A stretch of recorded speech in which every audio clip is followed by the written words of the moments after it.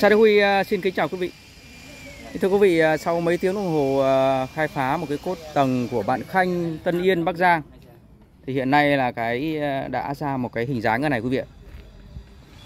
Đây, quý vị có thấy một cái cốt tầng không? Quý vị có thể nhận ra không? Ra một cái đường nét đặc biệt đây này. đây là khai. Đây là chưa xong quý vị nhé. còn phải làm đẹp nữa Đây chưa xong, mới gần gần gần hoàn thiện thôi. Nhưng mà ra được cái đường nét. Đấy là anh sao anh phát triển cổ anh nhỉ? đấy phát triển cổ đấy Đây cổ ngọn trên đây, lắc trở về tâm đúng không? lại ngồi vào đây này sẽ có tất cả hệ thống tay tay ở đây cũng có này Vâng. tay âm đây đúng không đấy, tay âm đây xong rồi về về này chỗ này có tay này đưa cổ vào gất cất lên đây thì là có cả tay về đây có cả tay về đây À. Có đủ hết Đây cao tầm này anh nhỉ? không cao vừa vừa đấy. Thì cái này nó còn thoát ra ngoài nữa mà nó không phải thế này này. vì là mình phải làm cho Một nó cây, có kéo được này cây. đúng không? Ừ, đấy chính là cái cây Này em dài em liệu. Một cái nét gầm đẹp quá. quan trọng nhất là mình phải lấy được cái khoảng sáng Rồi, nét gầm đẹp quá. cứ dần dần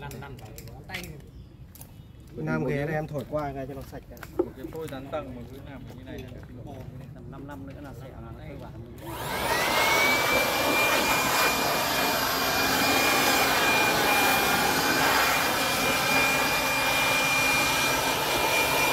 Luôn đi trước.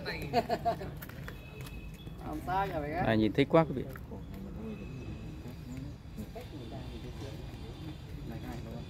ừ, sau nó cuộn thật như này đấy cho nên là cái điểm mạnh của cái cây nó nằm ở những cái vị, vị trí mình có chỉ cần một điểm nhấn thôi xong bắt đầu mình tính toán hết tất cả các góc mình dùng cái gì như thế nào mình triển khai Cây này à, mặt nào nhìn đẹp anh? mình làm được như này thì nó sẽ sâu cây Mặt nào cũng đẹp. Nhưng mà đều đều với mặt ra đen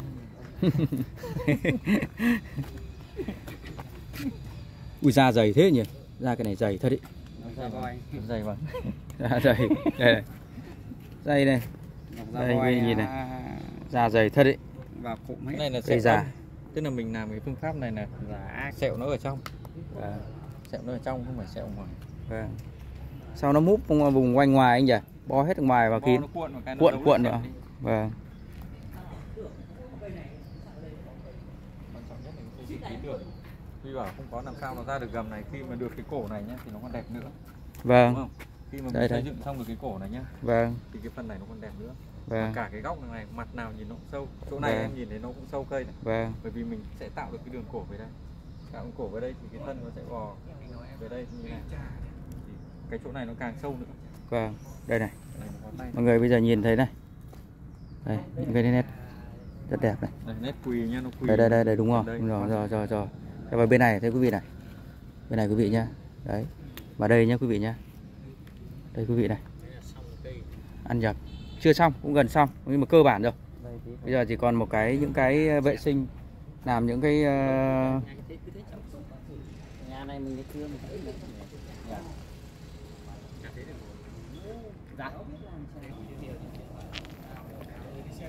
quý vị ơi, sau mấy tiếng đồng hồ thì uh một cây tác tầng à, rất là đơn giản, nhưng hiện nay đã thành một cái cây có cái hình dáng à, đặc biệt thế này.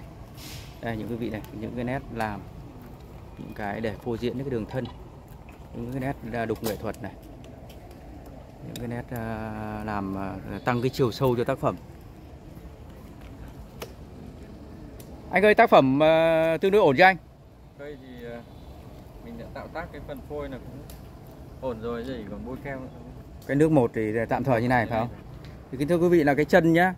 Cái chân này đang mùa hanh thì anh cũng chia sẻ là mình tránh làm đau cây phải không anh? Đúng rồi. Chứ còn còn ờ, sẽ sang xuân hoặc là cái nước hai thì mình sẽ tác động cái chân phải không anh? Kệ nó lúc này cho cái bộ Cho nó khỏe đi, đúng không? khỏe. vâng. Sau mình làm sao? Đấy. Quý vị nhìn có thấy phê không? Một cái cốt tầng rất là đơn giản nhưng hiện nay là đã thành một cái đường nét cực kỳ độc đáo này hóa thân khác hoàn toàn. Đấy và đây là sau này sẽ là cái ờ, đường cổ nhá đường cổ ngọn chính ở đây này. Lên và sẽ trở lại ờ, rất là vui khi bonsai Đức Huy lại có mặt ở đây. Vâng, đấy ghi cho quý vị cái khoảnh khắc từ đầu đến lúc ờ, anh khai phá và hoàn thành. Chủ nhân à, Khanh Khanh ờ, chứng kiến từ đầu anh Lam Lê làm thì bạn ờ, bạn ờ, thấy sao? Bạn có ưng ý không? quá nghi về tác phẩm này Yeah. Còn rất cảm ơn anh Nam Lê cùng ekip này Đức Quy đã đem lại làm cho em được một cái tác phẩm ngoài sức tưởng tượng của em em nói ta đấy bắt đầu em khác không ngờ ngoài sự tưởng tượng em Ngoài sự tưởng tượng à? nó rất là nhiều cảm xúc nó thăng hoa lắm Khi mình nhìn thấy mình muốn khai thác mình muốn làm một cái gì đó mà mình mình không không làm là không chịu được nó không dừng lại được đại loại là đúng không dừng nữa. xe mất phanh Theo cái dòng cảm xúc đúng không? theo cái dòng cảm xúc Vâng. đẹp khu khu này khu này riêng nó không quan trọng nhất là mình khai thác được các đường nét đây Đây là cái sau cũng là một cái cây rất là nghệ thuật quý vị nhé. Đường cuộn rất là đẹp. Có những cái đường cuộn. ok Đây và đây nhìn này đây. Nhìn cái góc này quý vị nhìn này. Vâng. về cứ nuôi đi xong rồi mai kia nước sau bắt đầu mình lại phá một phát kỹ nữa và tức là nước sau là mình sẽ làm bệ dễ thật là ngon lành một một dịp nữa Vâng. sao lại như thế bởi vì cái mùa này mình cũng không được làm đau quá. Vâng. tầm tháng 8 tháng 5 mà mang xuống làm lại Ui, lúc ý thì lại đẹp lắm rồi ngon Vâng. Rồi. này căn bản là nó như thế này mình chẳng nuôi Ừ. ừ, cũng không phải nuôi bệ nhiều sau chỉ có làm cho nó mỏng đi thôi Thế thì cái cái cái bước khó nhất thì anh Nam Lê đã làm cho bạn rồi. Khanh ạ. Thì chúc bạn này về nhá chăm sóc cho cây khỏe này, cái đầu tiên là cây khỏe. Và nuôi những cái cái dữ liệu mà còn thiếu để phát triển để cho à, lần sau cho đủ dữ liệu để anh Lam Lê sẽ phát triển tiếp cho bạn. Thì đây là cái cây ờ, một cái cốt nghệ thuật tiềm năng. rất bình thường anh thích cái góc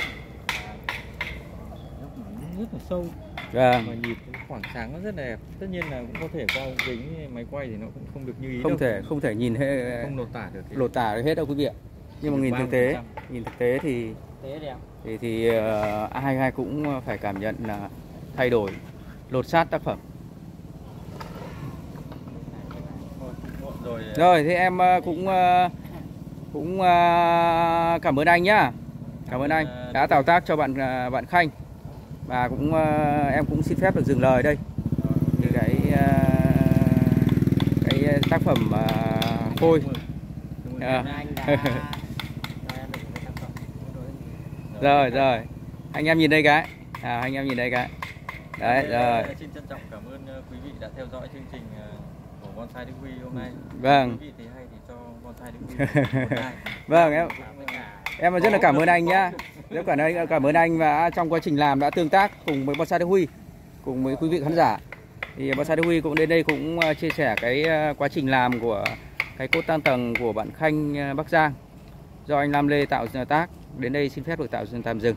Bonsai Đức Huy xin chào quý vị và hẹn quý vị ở video tiếp theo. Trân trọng cảm ơn quý vị.